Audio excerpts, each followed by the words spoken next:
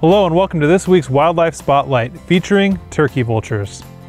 Also known by their scientific name, Cathartes aura, these large dark birds are no stranger to the Irvine Ranch natural landmarks.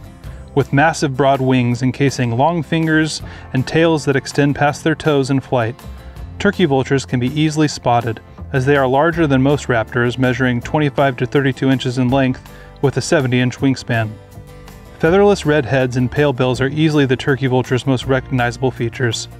The rest of their body consists of dark brown top feathers and pale undersides, giving off a two toned appearance in flight. These carnivorous birds sometimes appear unsteady or clumsy as they soar overhead, but that's actually because they are highly efficient flyers who avoid beating their wings as much as possible to save energy. They're often spotted flying close to the ground in search of carrion or riding up to higher vantage points on a thermal. Unlike many raptors and birds, turkey vultures lack the vocal organs to make proper songs. This results in their calls coming out as low guttural hisses.